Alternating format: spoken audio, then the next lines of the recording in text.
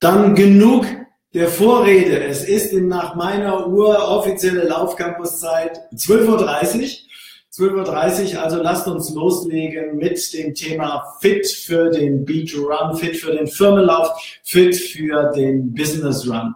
Äh, ja, warum überhaupt über, über fünf Kilometer eine ganz eigene Trainerstunde machen? Ja, braucht man das überhaupt? Ja, die meisten Firmenläufe, die es gibt, die sind ja so zwischen fünf und sechs Kilometer lang und schafft das nicht jeder. Und überhaupt macht es überhaupt Sinn, Firmenläufe anzubieten? Ja, wo es noch so viel anderes gibt. Ja. Und ich meine, ja, natürlich macht das sau viel Sinn. Und das finde ich, grundsätzlich einen ganz coolen Gedanken oder einen ganz, äh, ganz interessanten Gedanken, ähm, was mit der Laufszene so geworden ist in den letzten Jahren. Ich, vor, vor zehn Jahren, wenn man dann ein cooler Typ sein wollte, dann musste man doch mindestens einen Marathon laufen. Ja, äh, das ist doch das, mit äh, dem man dann damals auch Eindruck gemacht hat und nichts ich glaube, das ist auch etwas, wovon der Marathonboom sehr lange profitiert hat, weil viele Leute gesagt haben, ey, so ein Marathon einmal in meinem Lebenslauf, das ist eine richtig coole Geschichte. Nun, die Marathon, Anzahl der Marathon-Teilnehmer, die bleiben auf einem starken, großen Niveau. Es gibt auch ein riesengroßes Angebot an Marathonläufern. Aber die Laufszene an sich boomt. Wo gehen die denn dann hin, die Läufer, wenn sie nicht gerade zum Marathon gehen? Nun, es gibt viel mehr, was heutzutage cool ist, was Spaß macht. Äh, ich denke jetzt mal nur an äh, etwas, was ich vor vielen Jahren auch noch nicht für möglich gehalten habe, an Frauenläufe. Ja, es gibt diese, diese ganzen Ladiesläufe, wo die dann mit T-Shirts in Pink durch die Städte rumlaufen und ja, Naturtalent sich auf die Brust schreiben äh, oder auf das Shirt schreiben. Ich finde das eine coole Geschichte. Hätte ich aber niemals gedacht, dass das funktioniert. Eine ganz kleine Szene ist so das Parkourlaufen, ja, wo Menschen durch die Stadt laufen und, und springen und filmen sich dabei. Wahnsinn. Ja, Trailrunning, ich liebe Trailrunning.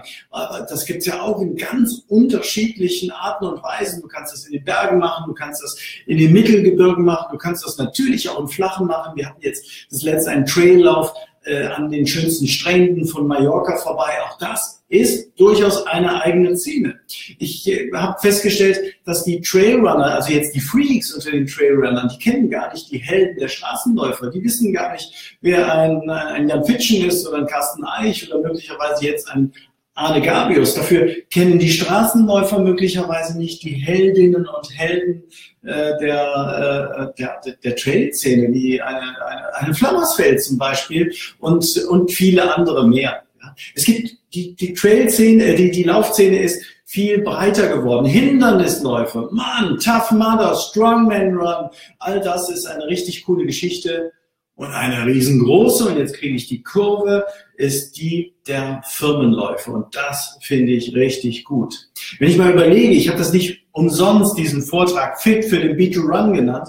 Ähm, wenn ich mir überlege, dass B2Run in den letzten Jahren 190.000 Leute an den Start gebracht hat, in 17 Standorten. 190.000 Leute, die äh, nach dem Startschuss eine geile Zeit verbringen, fünf, sechs Kilometer äh, erleben, gemeinsam in den Shirts ihrer, äh, ihrer äh, Unternehmen, die sie möglicherweise dorthin geschickt haben und angemeldet haben und dann einen genialen äh, Zieleinlauf erlebt haben. Meistens ist das ja in, in großen Stadien die Zieleinläufe, wenn es irgendwie möglich ist. Also ich glaube, ich, das ist das kann sehr viel Spaß machen. Und 190.000 Leute im letzten Jahr allein, äh, die können nicht lügen. Und wenn ich sehe, dass Business Runs insgesamt so ungefähr eine Steigerungsquote von 30 Prozent haben, also pro Jahr der ganze Markt, ja, dann bin ich mal gespannt, über welche Zahlen wir Ende des Jahres reden. Also lasst uns mal drüber reden, was macht einen Firmenlauf interessant? Und ich möchte euch zweimal Impulse geben. Einmal, wenn ihr drüber nachdenkt, als Läuferinnen und Läufer tatsächlich an einem Firmenlauf zu starten. Ab wann geht das? Ab wann funktioniert das? Und den zweiten Teil ähm, möchte ich euch ansprechen, falls ihr Entscheider seid in eurem Unternehmen. Wenn ihr vielleicht Unternehmer selber seid, Personalleiter seid, im betrieblichen Gesundheitsmanagement seid oder äh, Laufsportgruppen anleitet, was könnt ihr tun, um aus so einem Firmenlauf ein ganz besonders großes Event, etwas richtig Tolles für euer Betrieb zu machen? Nun, lasst uns mal drüber reden, warum Firmenläufe an sich so gut sind. Ein richtig große, äh, großer ich sag mal, Benefit von diesen Läufen ist einfach die Distanz. Diese Distanz ist ja meistens zwischen fünf und sechs Kilometer, ein bisschen mehr als sechs Kilometer lang. Und das ist eine Distanz, die wirklich jeder schaffen kann. Und Darum geht es in allererster Linie um Firmenläufe, zumindest wenn Unternehmen die Intention haben, ihre Mitarbeiter dort anzumelden, dann geht es darum, ein gemeinsames Event zu haben, etwas zu leisten, zu schaffen, dass man füreinander da ist, dass man äh, ja sportlich aktiv ist, dass man Freude tankt, dass man Glücksmomente miteinander teilen kann. Und es geht nicht in erster Linie um die Zeit. Es geht einfach dabei, darum, dabei zu sein, am Feierabend dabei zu sein, eine geile Zeit zu erleben und danach mit einer Medaille um den Hals, mit einem Getränk in einem Stadion möglicherweise äh, gegenseitig zuzuprosten und sagen, hey, cool, dass ich dabei bin und dass ich dabei war. Und deswegen sind Firmenläufe auch gerade für Anfänger interessant, weil fünf bis sechs Kilometer, das kann jeder schaffen. Das kann jeder schaffen. Und sogar Walken ist erlaubt. Das Marschieren ist erlaubt. Natürlich gibt es vorne einige Leute, die laufen diese fünf oder sechs Kilometer unter 20 Minuten. Sollen sie doch. Ja, werde ich auch. Das nächste Mal, hoffentlich. Ja, wenn ich vorne starte, ja, so, und äh, in, äh, dann, dann ist das eine coole Geschichte. Aber man ist nicht weniger cool, wenn man 40 Minuten braucht. Dafür sein Unternehmen unterstützt und möglicherweise das erste Mal im Leben fünf oder sechs Kilometer laufend unter die Stöcke, unter die Beine, unter die Schuhe bringt. Also liebe Anfänger, lasst euch nicht verrückt machen von den Marathonläufern, von den Freaks, die schon einen Halbmarathon gelaufen sind, was auch immer. Firmenläufe sind auch für euch da. Ihr könnt es schaffen. Wie mache ich mehr daraus? Nun, an einem Tag die Kondition zu kriegen für fünf Kilometer ist nicht möglich, sondern idealerweise bereitet man sich einige Wochen darauf vor. Und ich kann euch nur sagen, holt euch einen Trainingsplan. Trainingspläne findet ihr im Netz recht viele. Gute Trainingspläne kann ich beurteilen, weil ich habe sie geschrieben, findet ihr bei Laufcampus. Ihr Anfänger, also laufcampus.com, ihr Anfänger, nutzt euch, nun, nehmt euch so einen Anfängertrainingsplan. Und diese Anfängertrainingspläne, ja, die dauern zwölf Wochen, aber nach sieben Wochen, nach acht Wochen seid ihr in der Lage, auch wenn ihr wirklich heute keine Kondition habt, ihr seid in der Lage, 40 Minuten am Stück durchzulaufen. Und ich sage es euch, in diesen 40 Minuten schafft ein Anfänger in der Regel auch die fünf oder sechs Kilometer. Ja, ich rede von Anfängern, die übergewichtig sind. Ich rede Anfänger, die möglicherweise sogar ein bisschen mehr als übergewichtig sind. BMI 30. Ja, ich rede nicht von BMI 40 oder 50, also von sehr starkem äh, Übergewicht natürlich nicht. Da brauchen man eventuell ein bisschen Zeit. Aber 90 Prozent aller Leute oder 95 Prozent aller Leute können einen Firmenlauf schaffen, auch wenn sie Anfänger sind. Nutzt einen Trainingsplan. Und wenn ihr keine Anfänger mehr seid, wenn ihr ambitioniert seid, dann nehmt euch zum Beispiel einen der Trainingspläne für die Zwischensaison oder nehmt euch einen Trainingsplan fit für 10 Kilometer. Fit für 5 habe ich nicht, zumindest nicht äh, im Netz. Fit für 5 Trainingspläne, die gibt es an einer anderen Stelle, das möchte ich euch gleich noch erzählen. Geht davon aus, wenn ihr euch vorbereitet, dass einmal Training in der Woche keinen Sinn macht. Zweimal die Erhaltung der Form, auch wenn man keine hat. Ja, ab dreimal kann man eine Menge erreichen. Man kann tatsächlich besser werden. Mit dreimal kann man abnehmen. Mit dreimal kann man sogar Marathonläufer werden, wenn die Läufe nur lang genug sind. Das wollen wir nicht. Aber dreimal ist so der Goldstandard für alle Anfänger. Für alle, die ambitionierter sind, die brauchen auch drei oder vier oder fünfmal, je nachdem, welche Ziele sie haben.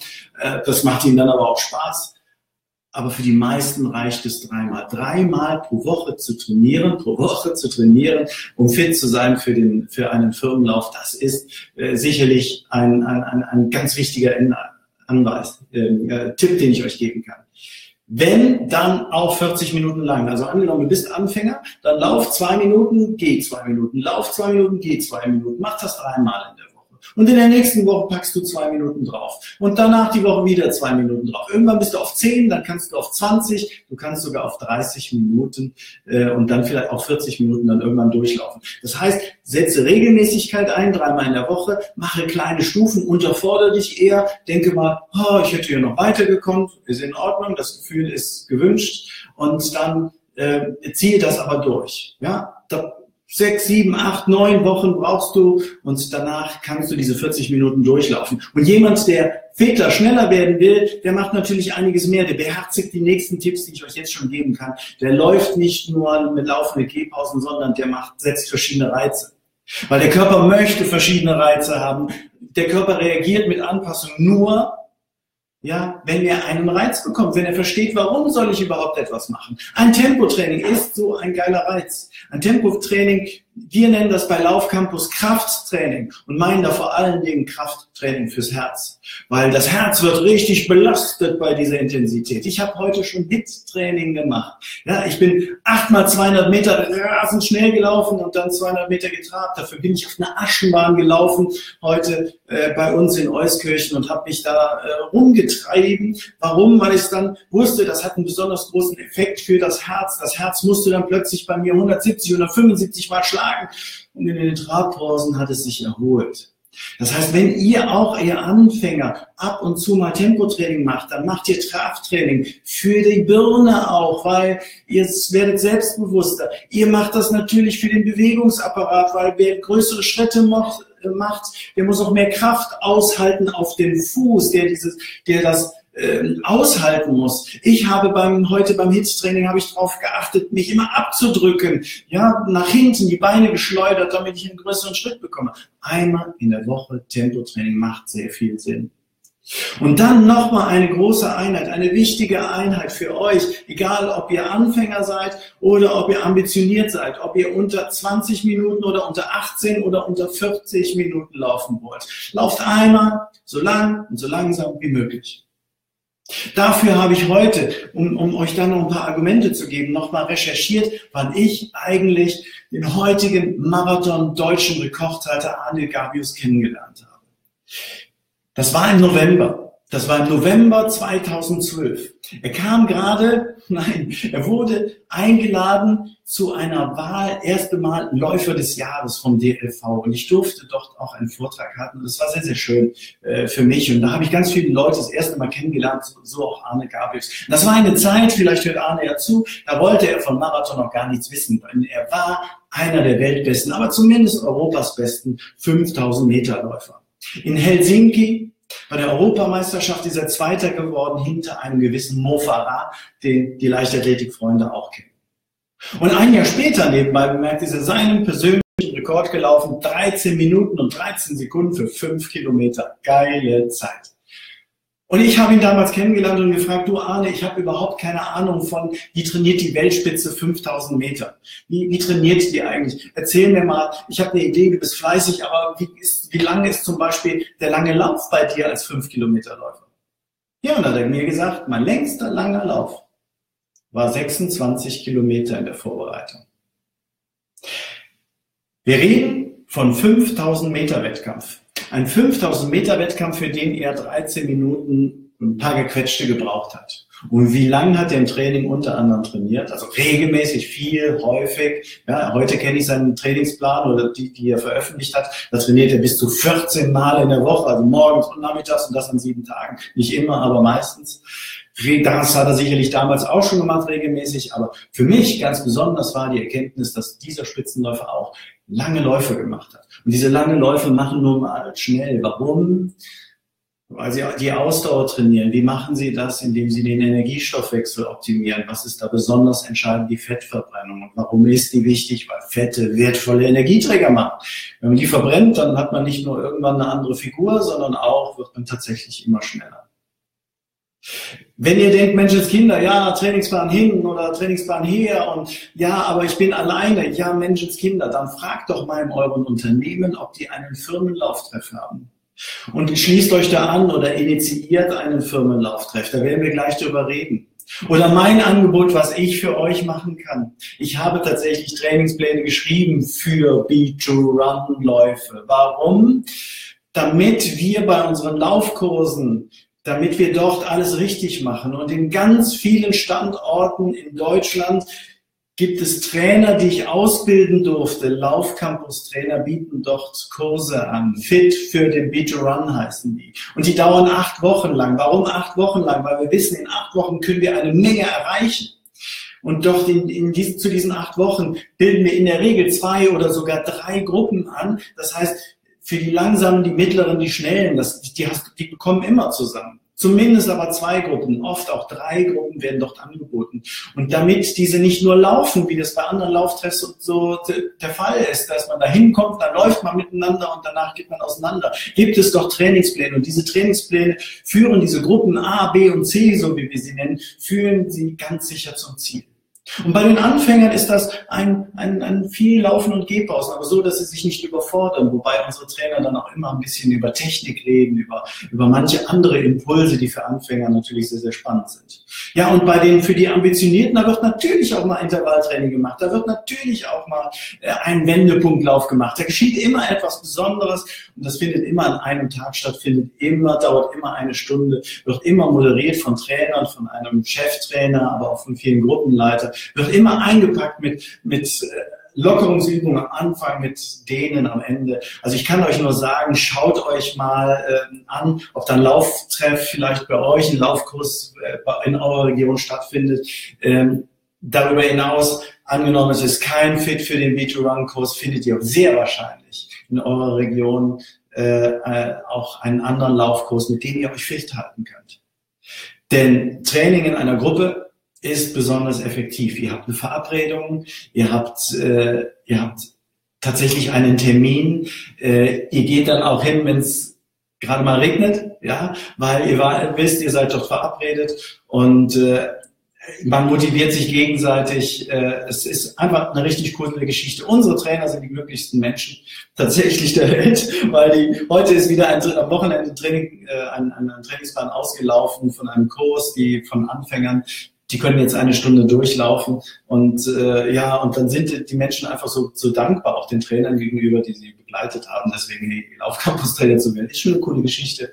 Ja, und da mitzumachen, äh, auf jeden Fall auch. Also geht mal auf die Seite laufcampus.com und guckt mal, ob da ein Kurs für euch ist.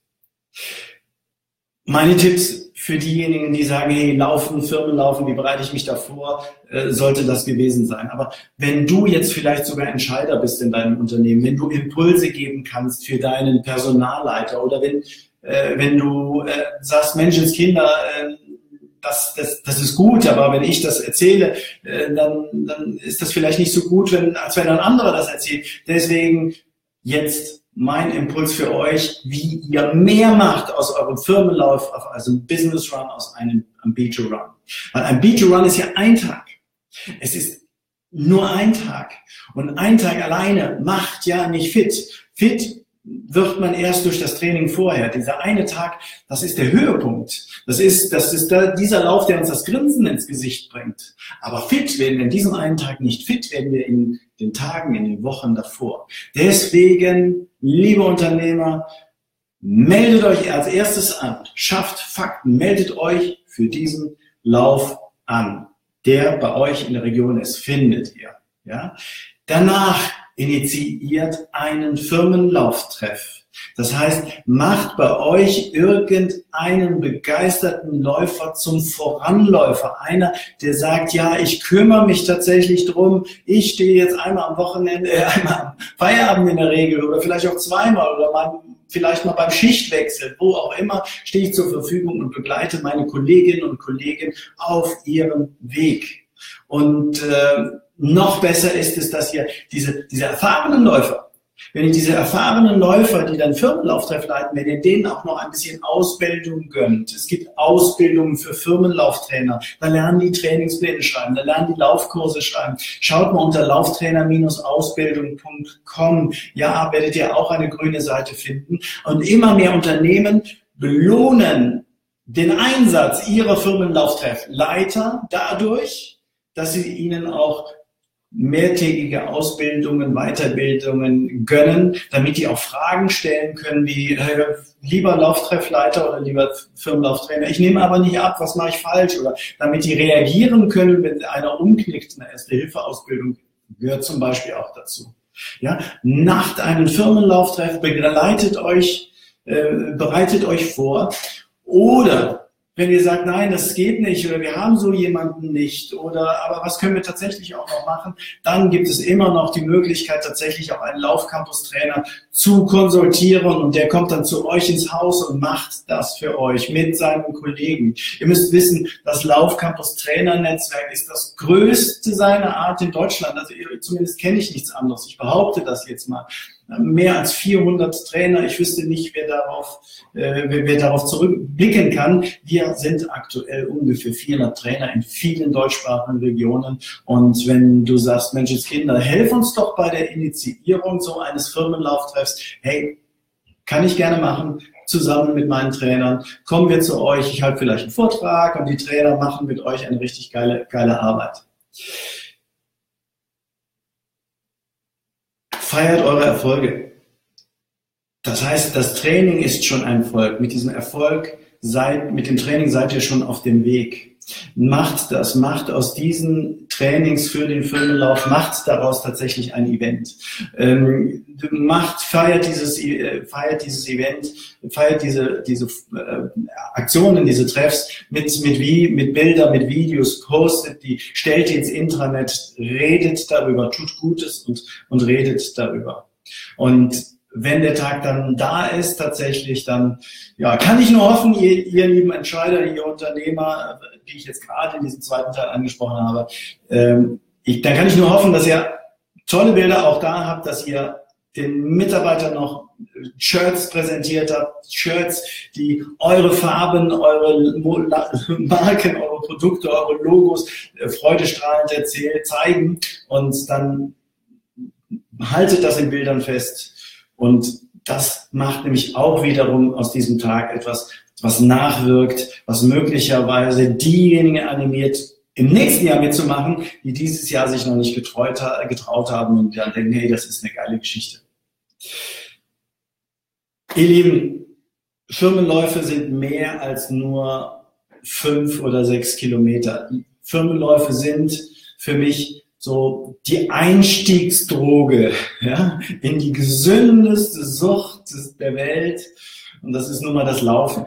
Ja, gestern äh, habe ich mitgekriegt, wie jemand gesagt hat, ja, äh, macht Laufen nicht süchtig.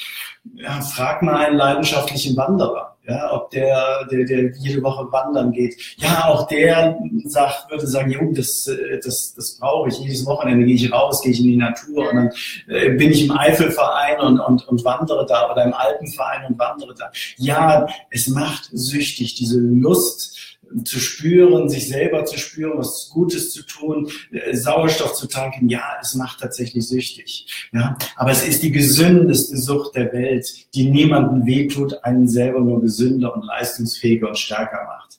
Firmenläufe, fünf, sechs Kilometer, die jeder schaffen kann, sind die perfekte, perfekte Einstieg in die gesündeste Sucht der Welt und in dieses Laufen. Und deswegen kann ich nur sagen, vielleicht konnte ich euch ein bisschen von meiner Freude, meiner Motivation, meiner Leidenschaft rüberbringen. Und es würde mich freuen, wenn ihr diese Lust auch in eurem Unternehmen teilt und möglichst viele eurer Kolleginnen und Kollegen ähm, ja, packt und dann eben zum, äh, zum, Lauf, äh, zum Firmenlauf anmeldet. Zum Abschluss nochmal wenn ihr Lust habt, geht zu unseren Kursen. Übrigens, diese Kurse, ihr seid in einem Unternehmen aktiv, das sich noch nicht selber anmeldet zu dem Firmenlauf, dann startet doch für uns. Startet doch zum Beispiel für das Team Laufcampus Stolberg, das ist bei Aachen, oder das Team Laufcampus Freiburg, die sich vorbereiten. Oder für das Team Laufcampus Bremen oder ha Hamburg. Und damit habe ich Freiburg genannt, damit habe ich äh, Hamburg genannt und ich habe Bremen genannt, weil die Kurse zur Vorbereitung auf den B2Run, die starten schon in den nächsten, ich glaube, 14 Tagen. Ich glaube, diese Woche findet schon ein Kurs statt und nächste Woche auch und übernächste Woche auch. Also guckt einfach mal rein. Und wenn ihr, liebe Unternehmer, sagt, ja, das ist schön und gut, einen eigenen Kurs oder machen, auch ihr könnt natürlich euren Mitarbeitern auch empfehlen, dorthin zu gehen. Ihr könnt es sogar bezahlen, wenn ihr das wollt, wenn euch das ein guter Schritt erscheint, dass sie dort acht Wochen lang betreut werden, wenn die acht Wochen lang einen Trainingsplan von mir zur Hand bekommen, äh, um, um dann fitter zu werden. Ihr Lieben, Firmenläufe, große Geschichte. Ich hoffe, ich konnte meine, meine Lust teilen. Wir sehen uns allerspätestens am Start oder im Zielbereich beim Finale in Köln. Ja, es gibt ja auch immer eine, eine Beat-Run-Serie, eine Meisterschaft, wo man am Schluss so die schnellsten und buntesten und verrücktesten aus allen Regionen auch in Köln starten können. Ich meine, starten kann man überall, da wo man sich anmeldet. Und Köln ist natürlich äh, in mehrerlei Hinsicht meine Heimat. Es ist nicht nur das geilste Stadion der Welt, ja, da wo der FC spielt, noch in der ersten Liga. Ja, gut. Äh, und äh, ist nicht nur bei mir in der Region, sondern da werde ich auch dann teilnehmen, unabhängig von der deutschen Meisterschaft oder nicht. Mit irgendeinem B2Run-Team werde ich dort am Start sein.